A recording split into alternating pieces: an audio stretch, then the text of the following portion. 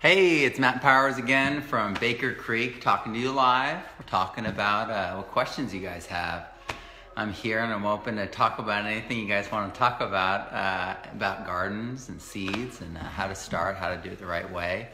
There's like you know a lot of different ways that we uh, we can interact with the garden. Um, but a lot of people think that there's only like one right way, you know, and that makes this whole big problem because everyone's like, oh, you can do this and it works or you can do this and it works. But what happens is that we don't uh, actually get engaged with like what actually is going on, and so we go with what what looks like it's good instead of what actually is good.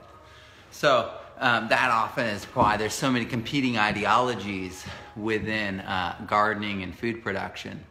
Uh, if you want to go one extreme um, the industrial agriculture, uh, it focuses primarily on uh, what's visual rather than what you are looking at under a microscope um, or nutritionally, you know.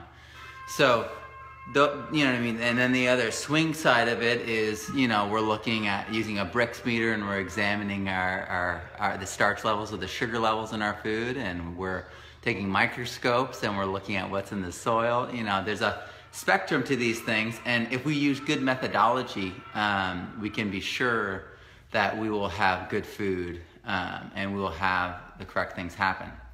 So, if you guys have any questions, and hopefully someone dives in here and then I can poke at it and like look at your question.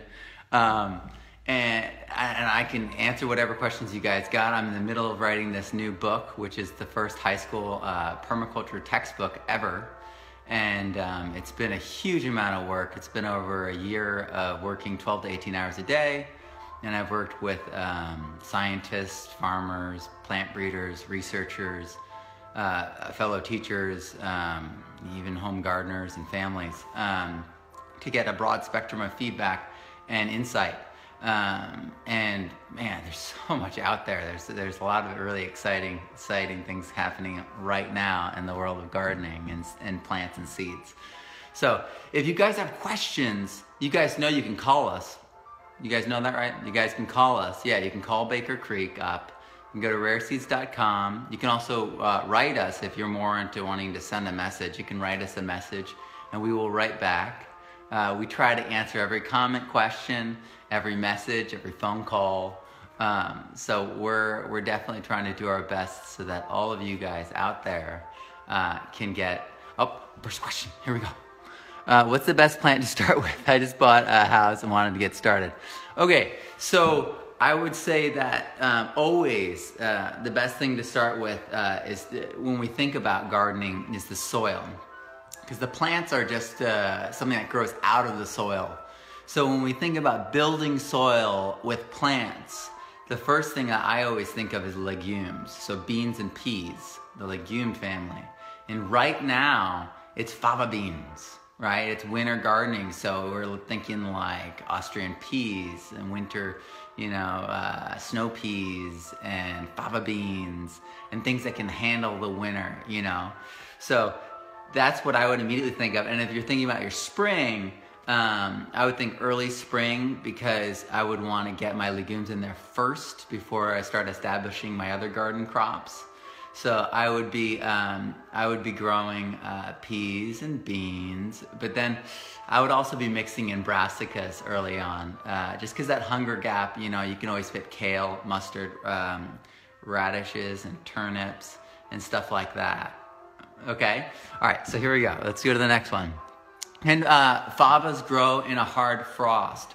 Well, we have to understand first that anything that's sprouting, if it's a hard frost, it's gonna uh, not be able to handle it. Um, but if it's already grown, what happens in a frost is that, and this also depends on where you are and the moisture content of your air. So if we're in California where I used to garden, a frost would come in, and if you have like a thick a thick patch of like beans. It'll come in and it will travel some of the way down. It won't get all the way down. And it'll start growing, it'll start going around the leaves, but it won't, you know what I mean? It doesn't penetrate all the way down and all the way in. So, and then uh, the next week or so, all, the, all those parts that got frosted will turn brown, but it'll keep going. And I've also seen fava beans be taken out down to the ground and then re-sprout. So it really depends. I know that uh, in our area here in Missouri, that um, things get frosted real hard and they're still green after afterwards. Um, uh, and but, but, we're talking about clover um, when I say that. I haven't done anything with fava beans yet. I plan on it, um, but it gets snowy here, so it's beyond hard frost. So I was going to cover it and heat up the ground with a, a greenhouse first. Yeah, Austrian peas rule. I have a, a, bunch of Austrian peas I've been doing for years. All right, so here we go. I will go back to uh, earlier questions. Oh, it doesn't let me do that. Uh, do you think you will start carrying succulent, succulent items? Um, we do at the store. Uh, I know we carry uh, succulents at the stores uh, here in Baker Creek and in California at the Petaluma Seed Bank. Um, how do you keep kale from growing? Uh, keep my kale growing during the winter? Should I plant new seeds in the greenhouse instead? Uh, my kale grew through the winter um, in, in in in California, uh, and so depending on, I would go for Siberian kale. Look at the Siberian kale, and uh, always look to uh, winter stuff. Look to Siberia and Russian crops that really can take that that heavy cold. Uh, can I use weeds that have gone to seed as mulch? Um, well, the problem is they're seeds, weed seeds. Um, if I miss questions, guys, please forgive me because uh, I can't scroll, so I catch it as it goes by. Um, the thing with with weeds, you chop off their, the, the, you chop them before they form seeds, and then you have perfect mulch because there's no weed seeds in it. And then after that season has gone through, you end up having like way less uh, weeds that sprout, and you end up having a cleared area, almost like you weeded.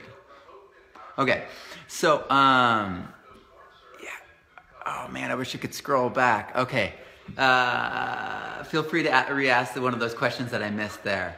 Uh, I can't really scroll back. Um, so, uh, going back to the question about about uh, different kinds of kale. The thing with a lot of the brassicas is they don't taste as good unless they've actually gotten frost on them. So when you get frost on like uh, your brassicas, um, and this and this is also true of some root crops. Uh, when the frost comes, like with sun uh, sunchokes, Jerusalem artichokes, they sweeten up. Um, so the, the, it can improve things. Um, I know with kale, um, people can grow it in summer and sometimes don't like the way it tastes because they prefer it in winter when the, when there's frost on it because it tastes better. so uh, I grow kale, the red ragged jack, uh, the red Russian kale. I grew that year round from like 120 degree soil temperatures to you know 30, 40 degree soil temperatures. So you can do a lot with it, but I also was saving the seed and letting it go to seed and set its own deal. So it was it was it was already doing its own thing. I, I, the more you let plants work it out themselves, the better it will go. When is the best time to plant a sprouting variety of broccoli? Well, if we're doing sprouts, aren't you doing it in, I mean, sprouts are for indoors, right? So you're doing the sprouting variety for seed, right? If you're doing that for seed to grow seed to make sprouts from, because sprouting variety would be for sprouting inside to eat the sprouts. Um, it's a biennial, zone five. I worry that I wouldn't be able to pull it through the two years to get it, um, to get it to go, to go to seed. Does that make sense? That's that. Uh, oh, you're talking about broccoli rabe. Um, yeah, is that a biennial too? I would look at the growing season and see how long it takes, um, and then go backwards from your your uh, last uh, date. You know what I mean? Your common last date of frost, and then see if it matches your if it fits within your first planting date of your season. I do that with anything. If you don't know, um, if you have the room, start off at the end of your season and go backwards. Uh, and then you can actually fit multiple things in that way too, but always start at the end go backwards. Uh, it's snowing here. Is it too late to broadcast cover a crop? Well, depends, right? Um, if you broadcast it um, in the snow, it probably would rot um, because the moisture Um, but if you had mulch on the ground and it's under the snow, protecting it, it might come through in, in the spring. I mean, that's what happens to our seeds that we miss, right? It, it still grows. Um, yeah, I wouldn't cast seed into snow. but maybe I'll try that and see if it works. But I, I just don't, I've never seen that happen in nature. So um, I wouldn't do that. I live in zone five. Every once in a while, you can make a biennial like broccoli or kale, make it through the winter. Kale is not a biennial. Um, kale uh, can make it through the winter um, much easier than broccoli that I found. Uh, and it, I think it has to do with the distribution uh, of, of its structure. So um, there's a lot of water in the broccoli. I could see the broccoli freezing. Uh, the kale spreads things out, you know what I mean? And it has all those crinkles. Um, best, uh, so, so I would say try it. I mean, almost all my discoveries that I made myself were through actually trying it. Um, th- there's different things you can do. You can do low tunnels to get it to go through your system. I know people um, are in cold areas are doing wind tunnels or you know low tunnels um, to get uh, plants through the winter, uh, especially cabbages, uh, which are brassica, just like uh, broccoli or kale. Uh, broccoli just might be too tall and skinny. You know what I mean? It just makes so much of a target in winter. Um, but yeah, worth a try. Kale would be just darn easy. Kale and mustard would be easy. Uh, you could look into green wave mustard. We carry that, and I've had that go through winter. Best fix for getting rid of stink bugs or squash bugs. Okay, so um, oh shoot, I lost that. All right, so the person asked you answer, I'll come back to you. I'll come back. Um, all right, so stink bugs. All bugs are indicative of um, nature saying, "Hey, there's too many of this in this one place, or there's not enough diversity, or this plant plant is weak, doesn't belong here, or this plant is sick." Um, but the bugs are really indicative uh, of, of different aspects, just like weeds. Weeds uh, tell you a lot about your soil. So if I was to uh, take squash bugs head on, um, I, I, would, I would probably bring in some chickens uh, and see if they would eat them. I, I, you know, the thing is, I had them one year but then I kind of like doubled and tripled the diversity of my garden, and they all went away. Um, but El Nino could be a factor. I noticed during uh, the El Nino year that we got slugs for the first time in eight years. So on off years where you have like that 15 year cycle hiccup, you know, you're to get weird bugs. So if you normally don't have that bug, it could just be coming in because of the weather um, and you might not be able to uh, really adapt to that because it's just a, a one year thing. Hopefully that answers that question. All right, so, uh, oh shoot, I lost that other question because I was answering that. So, again, feel free to ask a question over if I haven't answered it already and it's in the feed because all I've got right now is Cody. Oh, Cody, yes, you did it. Okay, clay soil, never seen this many this summer. So maybe slugs. Oh, or stink bugs. Um, well, I don't know if the stink bugs would be directly related to the soil. Of course, everything's everything is related. Um, but uh, my area de- was decomposed granite. There's definitely more organic matter and clay in the soil here. Um, yeah, so it's really the, the bugs, the weeds, um, diseases they're all in relation to diversity. Is there a best type of bag mulch or for when I can't afford an entire delivery of the free county mulch doesn't doesn't show up? Yeah, you know what I mean. Uh, when we go for free, sometimes we get what we pay for, and that's a really hard thing. I sue. Um, yeah, I don't buy mulch in bags. I don't buy things from stores. Um, and so I tend to create my own mulch on site, or at this time period, people everywhere have uh, leaves falling and or especially you know in, in the humid, uh, humid temperate climates. You got a lot of leaves and everything um, coming off the trees. Um, and you could use a, lot of neighbors' uh, mulch at this time. I'm gonna read this question real quick. I have a mild codling moth problem on a young apple tree. Red one tip cover each apple when they are one diameter with paper bags for the rest of the growing season. Would that hurt the apples? It wouldn't hurt the apples. Um, unless you're like trapping moisture, holding moisture on it, um, it wouldn't hurt the apples. I've also seen um, people mix uh, clay with water and make a spray and spray it onto their, their, their fruit trees. And that gives you a protective coating. And I think the way that works is it covers um, the plants um, from releasing smells.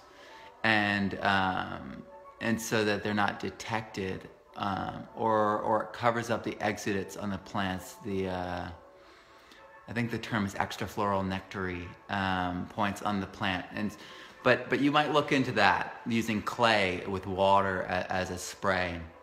There are actually a lot of options.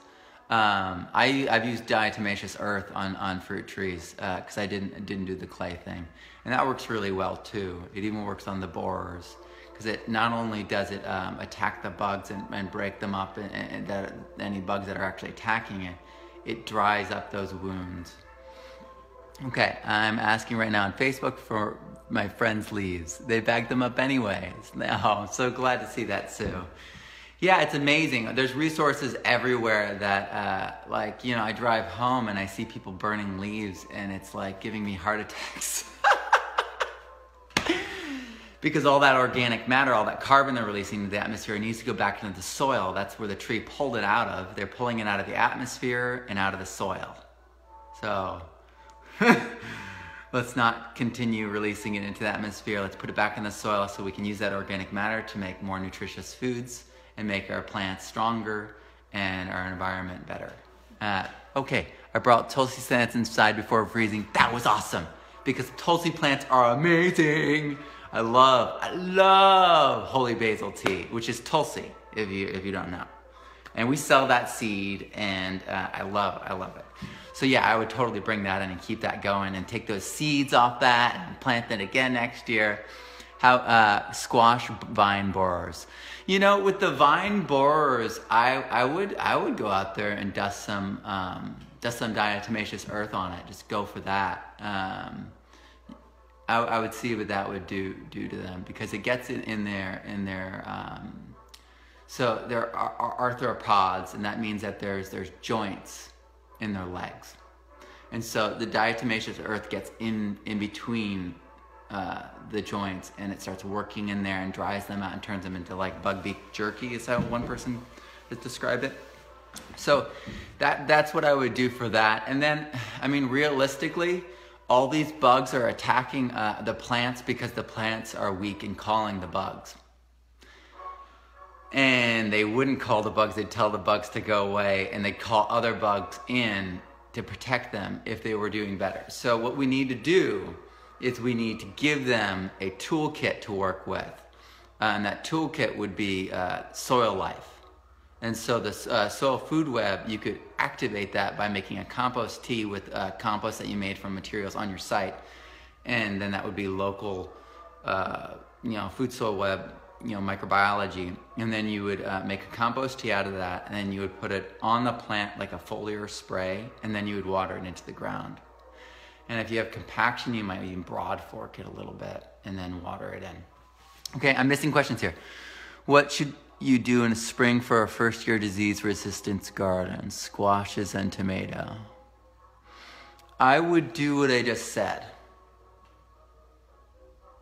I, I would use compost because that gives your plants the options so they decide. Um, and then that gives you the most options and resiliency because it's based out of the soil and the soil life. For sure. Um, Keith, I used heating pad underneath all the plants I grow indoor during the cold season to keep temp. Yeah, you could use heating pads. You could create a situation where you have um, a sunny room. You could double pane the glass up. You could create a cloche outside where you take glass and put it on over a plant. Um, you can create a cold frame. It's lots of options depending on your situation. It's getting cold in here.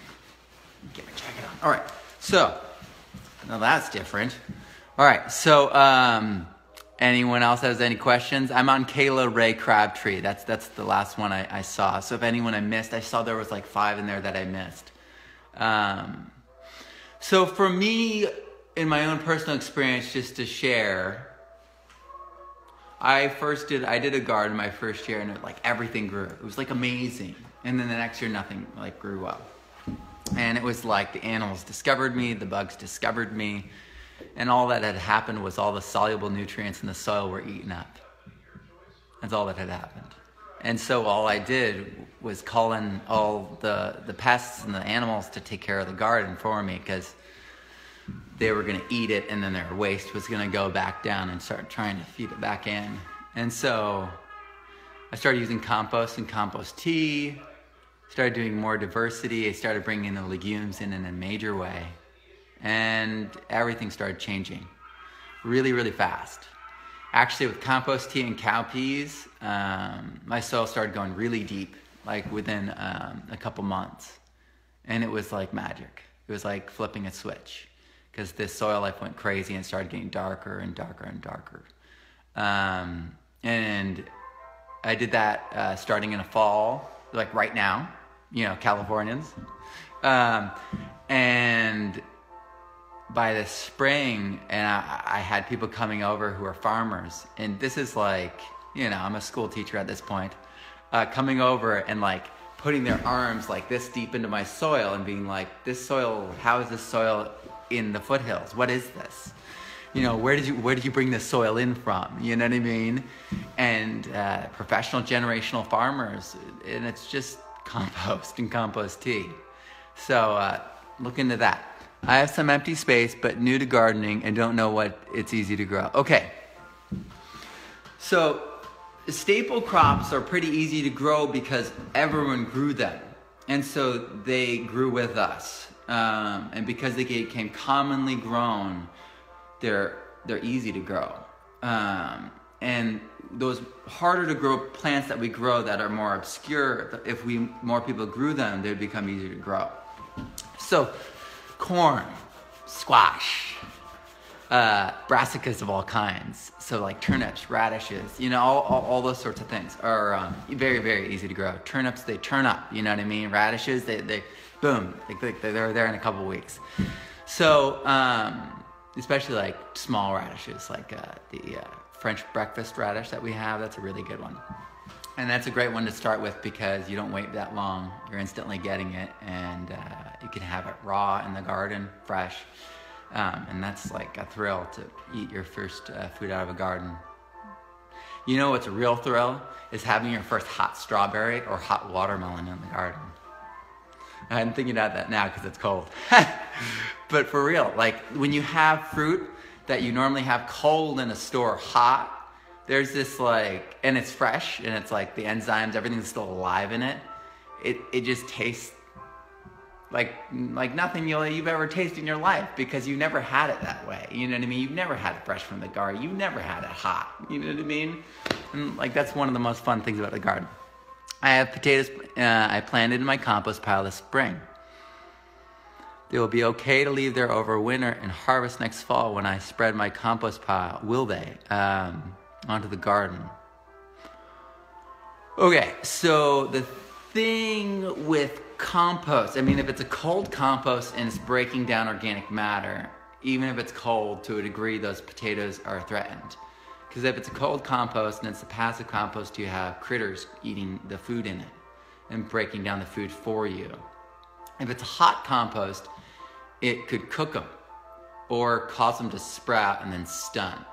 Um, and if it's a fully composted compost and it's actual compost, it's not going to be hot.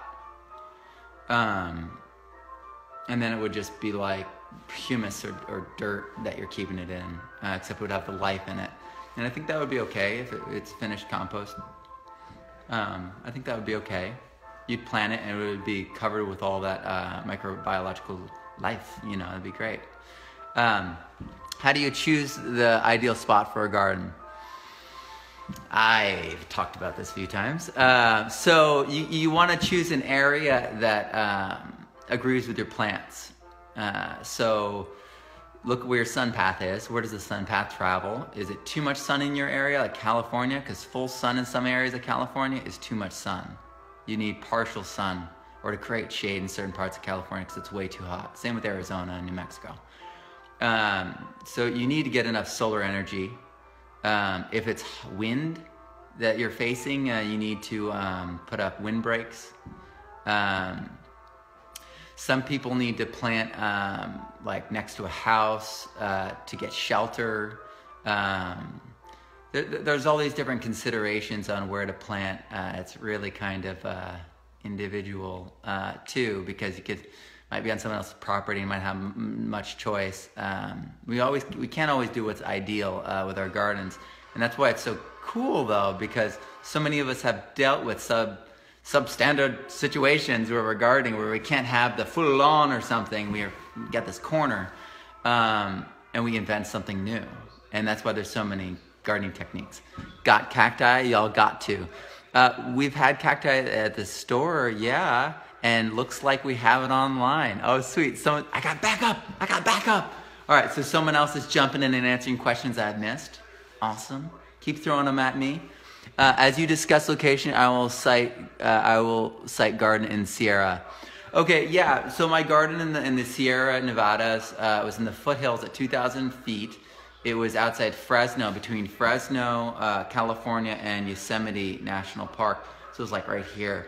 Uh, and it's uh, it was in Coarsegold right near o- Oakhurst. And my garden was like on a hill, and it was like a dial, like a sundial. And so in the morning sun hit, it was really hot and burned things really, really bad. And so I had to kind of grow in the shaded areas.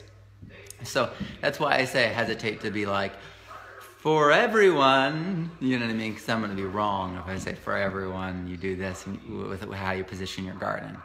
Um, hope that helps. Uh, all right, any other questions? Oh, here we go. Do you have any mild microgreens? Okay, so the thing with microgreens is they want, when people order microgreens, they want tons of seed for a low price because they're just going to be growing it and cutting it and not saving it for seed.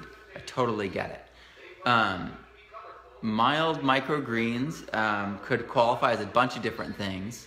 Uh, microgreens are just simply sprouts that we let go a little bit until they're almost starts and then we cut them. Um, so they could be like a bunch of different things in our catalog.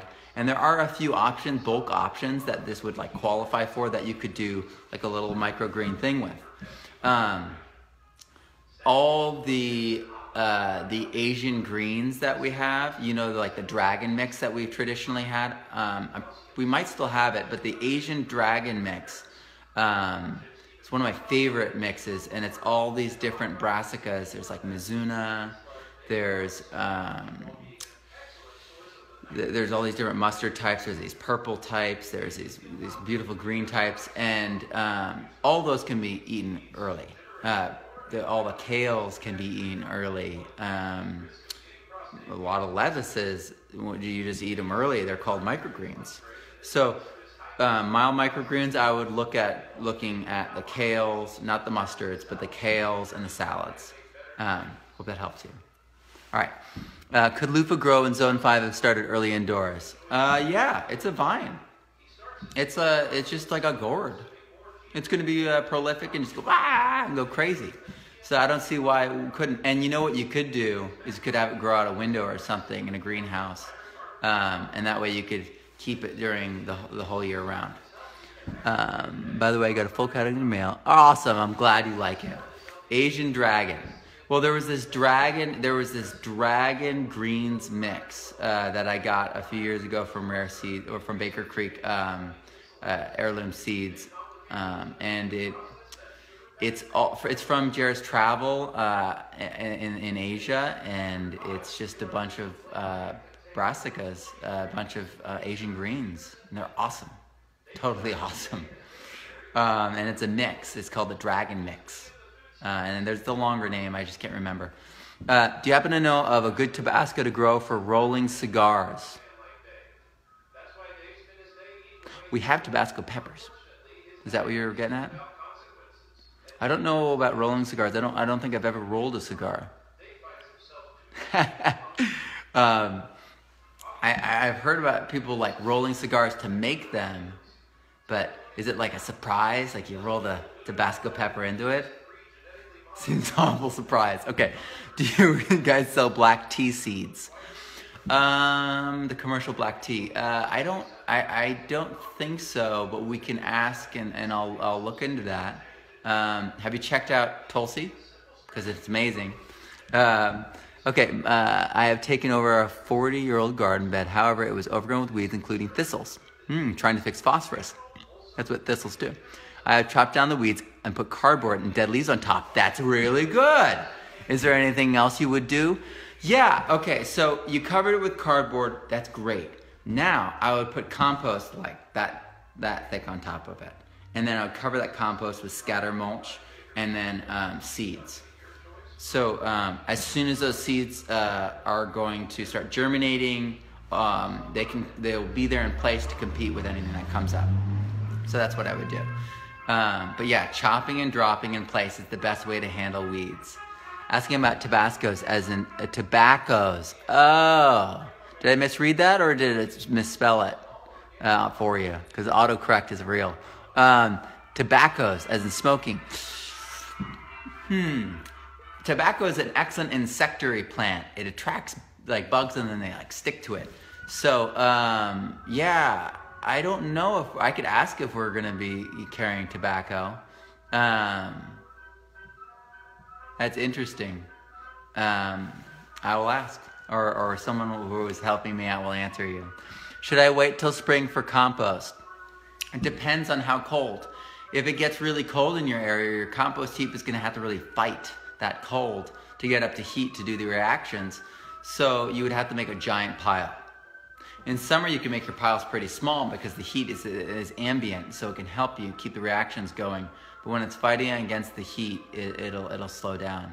So you could, you know, um, build your pile and then start and see how, how it goes and then just leave it in place uh, and then and then compost that pile by turning it you know keeping it 131 to 140 fahrenheit for 15 days to kill the weed seeds the pathogens um, the parasitic eggs and make it so that you have sterile compost right because you got to do that okay how do i find out what zone i'm in and what will grow i'm in north central florida okay so um, so uh, there's zone maps. There's the USDA zone maps. Um, uh, those zones are shifting a little bit, and then we all fall into a microclimate.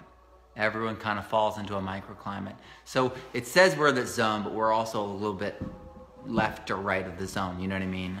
So uh, I would use the map, just uh, Google it uh, online and look for your map and uh, see find yourself and see what your zone is. But keep in mind that you can push it uh, up and down a bit uh, out of your zone. I meant, should I wait until spring to put the compost you suggested my 40 year old bed? Um, if you already got the compost, um, I would just put it in so the compost works on the cardboard because otherwise the cardboard might not break down. But keep in mind, I'm also from a drier area, so the cardboard in my area might not break down as fast as yours. Shoot, I lost that question. I'm sorry, someone wrote a big question and I missed it. Uh, Brian Powers. another Powers. 9A8B. Pretty awesome. I was an 8B. Brian. Looks like all the powers love the 8B. Yeah, so that's your zone. Um, yeah, 8B is a good zone. You can grow a lot in 8B. So all right, so all right, all right. We're, we're so welcome. We're we're so uh, we're so happy to help. You're so welcome. um, this is this is a lot of fun. What's the best stuff to put in compost? All right, okay. So it depends. So if you do more woody compost, you make it more fungal dominant because you fungi break down complex carbohydrates like wood. If you do more greens and fresh material, that's going to be more bacterial dominant, which is actually more like annuals, and the woody stuff's more fungal dominant, is more like perennials. That should really help you start on the journey there. Um, are there any benefits to a hugelkultur growing bed compared to traditional raised garden bed? Uh, hugelkulturs are good for getting rid of uh, excess wood. They're a really great way to deal with wood. I don't encourage anyone to cut down trees of any sort to make hugel beds. Um, it, it, yeah. Oh yeah. Always balance the compost, or it will stink. You need to do. Um, you need to do a third brown, a third green, and then a third like uh, nitrogen uh, based.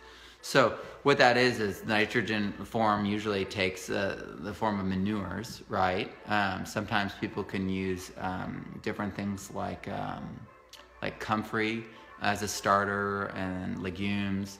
Um, but the greens, when they say greens, they mean fresh plants that have not gone to seed. People think that, that it's just dried and fresh. It's, it's fresh plants that have not gone to seed. So the nitrogen and the enzymes and all the good stuff and the sugars are still in the plant. Okay. Now, the browns are all dry and it's gone to seed. So it's just like standing carbon. And all the nitrogen, enzymes, and sugars and stuff went into that tiny seed, and that's where they are. Um, so so that's why um, so so that's and then we combine those three those three ingredients uh, and what happens is we get this um, thermophilic reaction heat loving thermophilic philia love right? Thermophilic uh, reaction this heat reaction that uh, starts breaking down all that organic matter. And what really is going on and i talked about this yesterday is the soil life is consuming the organic matter and consuming each other and consuming the waste from each other and then consuming like the dead forms of each other and the residues uh, of all these reactions. And so it's this, this huge reaction. And what's going on is it, it constantly breaking down into these long carbon chains, which um, are what compost is, what humus is. Um, and what uh, all the plants, you know, source and, and the fungi sources um, in, in the soil. So it's really, really important, really awesome. Composting is the key to, uh, to gardening and growing food the way nature has developed soil and grown plants for billions of years.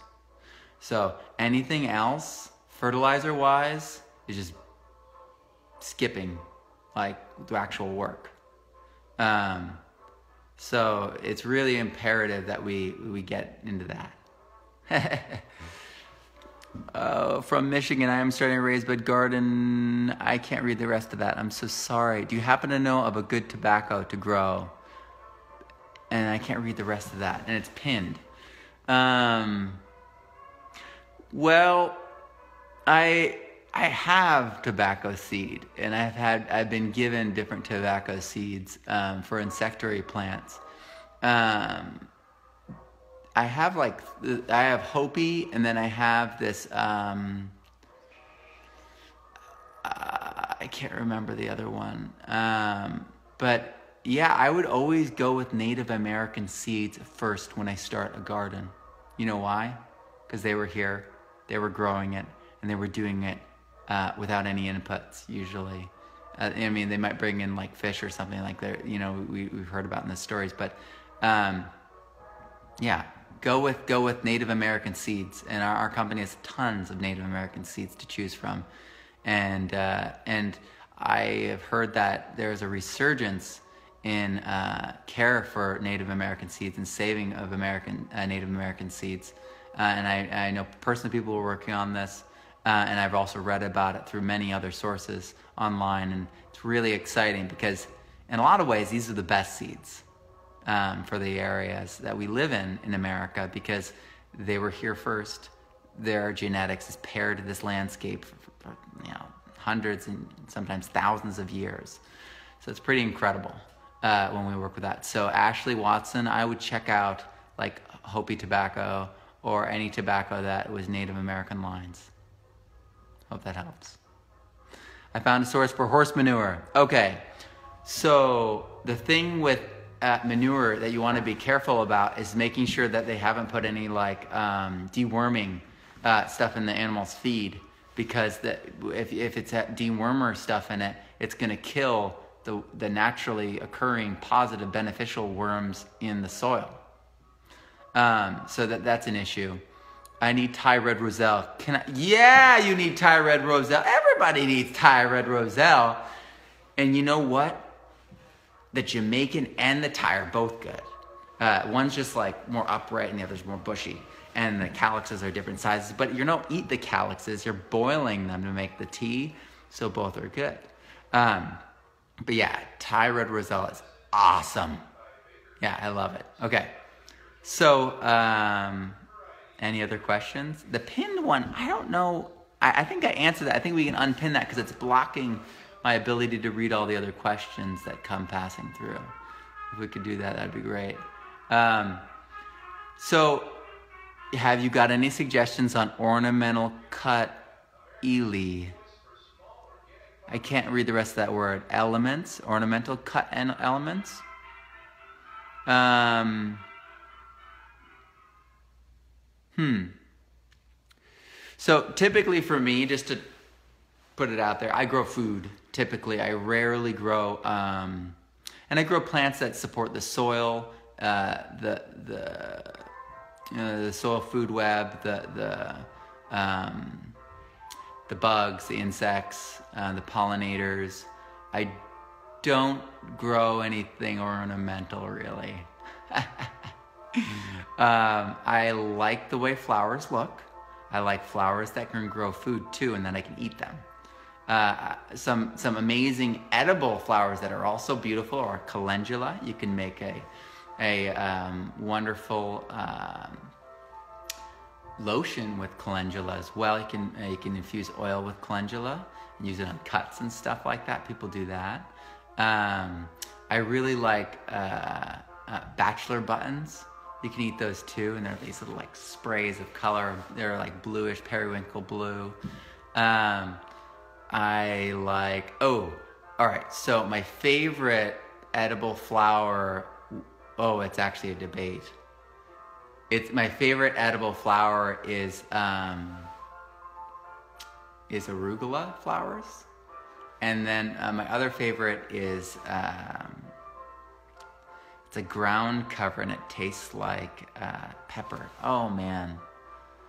Ah, I could just, I could see it at home. Uh, well, I'll remember it later and I'll post it. Uh, so someone asked uh, vetch. I love working with vetch. I don't know about crown vetch. I worked with hairy vetch, uh, and that's a wonderful winter legume to use. I highly recommend it. Any food I can plant outdoors in West Central Florida, you totally can plant food outdoors in winter in West Central Florida. I mean, you guys are warmer than 8B. Um, I, I nasturtium. That's the one. I love nasturtium. So everyone should taste nasturtium in salad or just in your garden. It's a wonderful thing to do. And it's also great to play with kids. Um, so, do you have a suggestion for unusual pepper to grow? Uh, it depends. Uh, we have a lot of unusual hot peppers. Uh, we have some uh, funny, uh, some some funny looking ones. Someone asked about uh, hugelkultur again. Um, I'll just remember that. Um, but but yeah, we've got we got the I like the scorpion the scorpion tailed ones, not the Trinidad because it scares me because it's so hot. But there's a bunch of ones with the pointy end like that. That's that's pretty cool. I really you know to be honest, I really like the Italian. Um, I really like the Italian um, the Italian uh, frying peppers. That, that's my favorite. Uh, there's, I mean, there's so many to choose from. I really like the orange, uh, the orange colored ones, purple colored ones. Uh, I like ones you don't see in the stores. all right, well, I think I'm about to use up all the space in my phone. So thank you so much for hanging out today, and uh, I'm glad I was able to answer some of your questions. Uh, they have the fish peppers. Check them out; they're awesome, and that's a great option too. I like the way the mottled stripes are on it. Or have a wonderful day. Bye.